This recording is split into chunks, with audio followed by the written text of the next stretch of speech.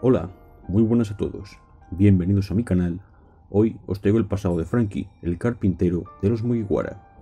Para ello dividiré el vídeo en dos partes, la historia con su análisis y los puntos clave. Y antes de comenzar, quiero dejar claro que toda la información de este vídeo está sacada del manga. Y una vez dicho esto, comenzamos. El verdadero nombre de Frankie es Cutiflam, siendo Frankie el nombre que le dio su amigo Iceberg. Frankie nació en algún lugar del South Blue y fue abandonado por sus padres en la ciudad de Water Seven, donde se quedó con el carpintero e Iceberg, aprendiz de Tom.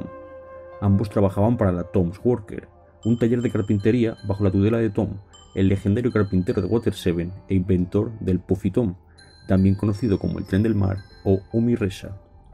Por aquel entonces, Frankie pasaba su tiempo libre intentando crear un barco de guerra capaz de derrotar a un rey del mar, cada uno de estos barcos era bautizado como Battle Frankie seguido del número de fabricación, es decir, estaban el Battle Frankie 1, 2, 3, etc. Fue en esta época en la que los piratas de Roger visitaron a Tom durante su viaje final.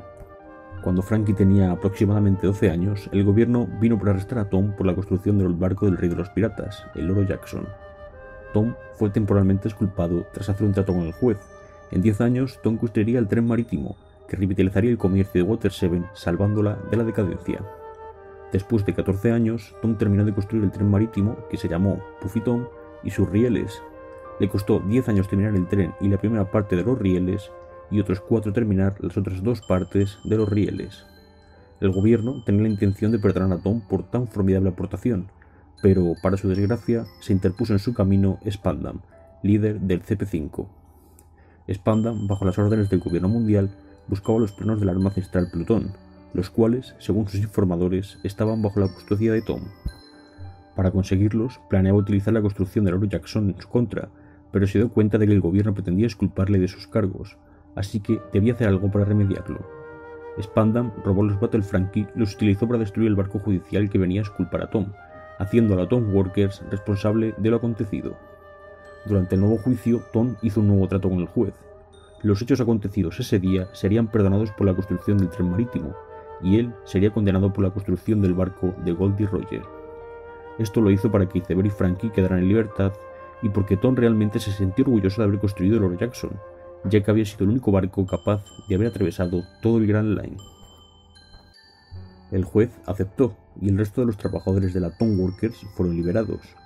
Sin embargo, Frankie, incapaz de admitir lo que estaba sucediendo, enloqueció golpeó en la cara a Spanda, dejándosela completamente desfigurada, y a varios miembros del CP5. Más tarde, Frankie trataría de salvar a Tom. Para ello, se interpuso en la vía del tren marítimo que llevaba a su mentor a prisión, e intentó pararlo con un bazooka. Cuando vio que el arma no había tenido efecto, en un último intento desesperado, intentó pararlo con su cuerpo, pero, por desgracia, fue rayado por este y sufrió daños irreparables. Frankie consiguió reparar su cuerpo a partir de chatar que encontró en un barco abandonado, convirtiéndose en el cyborg que es hoy. Abandonó el nombre de Cutiflam, adoptó la identidad de Frankie y regresó a Water 7. Cuando supo que seguía con vida, Iceberg le impidió computar los planos de Plutón que Tom le había dejado y que ahora tendría que ser mucho más maduro, pues ahora tenía una decisión muy importante en sus manos, o destruir los planos o dárselos al gobierno mundial y ocasionar un inminente caos. También le dijo que continuara usando el nombre de Frankie para ocultar su identidad, Cuatro años después de haber regresado a Water 7 como cyborg, Frankie formó una pandilla llamada Frankie Family, la cual hacía trabajos como desmanteladores de barcos, ladrones y cazarrecompensas. Poco tiempo después de que los sombreros de paja llegaran a Water 7, su pandilla golpeó y robó Usopp 200 millones de berries. Esto causaría la furia de Luffy, Sanji, Thor y Chopper, quienes como venganza destruyeron la guarida de la Frankie Family, la Frankie House y golpearon a todos los miembros de su pandilla, excepto al líder, quien se encontraba en otro lugar gastándose los 200 millones. Cuando Frankie supo qué le pasó a su guarida y a su familia, buscó a Luffy para vengarse y empezaron a pelear, pero fueron interrumpidos por los trabajadores de la compañía Galley, quienes acusaban a los sombreros de paja de haber sido los responsables del intento de asesinato de Iceberg. Acto seguido, Luffy y sus compañeros tuvieron que huir constantemente de Water 7. Por otro lado, Frankie secuestraría a Usopp y a la nave Wayne Merry, pensando que todavía estaban con los Mugiwara, y fue ahí donde se enteró de que Usopp ya no era miembro de la tripulación y sus razones para irse. Esto mostró un lado sentimental hasta ahora desconocido de Frankie, quien se puso a llorar y a tocar la guitarra cuando supo la historia. Aunque también él le dijo a Soap que el Going Merry ya era inservible. Poco tiempo después llegarían los miembros encubiertos del CP9, Khalifa, Prueno, Kaku y Lucci, quienes ya sabían que Frankie era la persona que tenía los planos del arma ancestral Plutón. Fue capturado por ellos y fue llevado esposado junto con Nico Robin a la isla de Nislovi.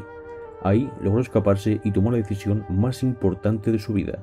Quemó los planos del arma Plutón después de decirle a Robin que confiaba en ella.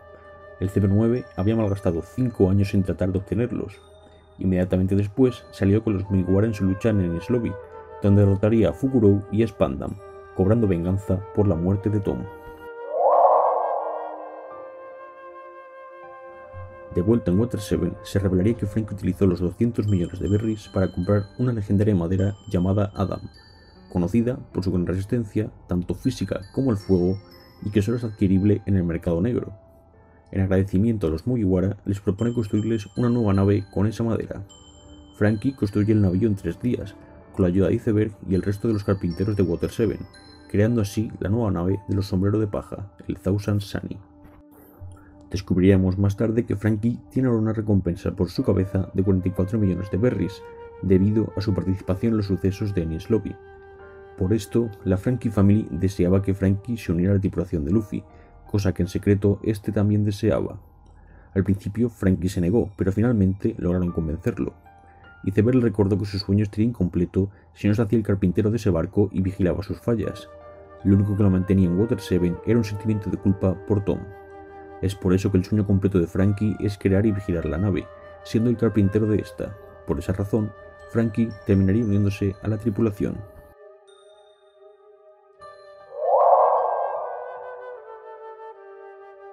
Tras el abandono de sus padres, la gente de la Tons Walker se convirtió en la nueva familia de Frankie.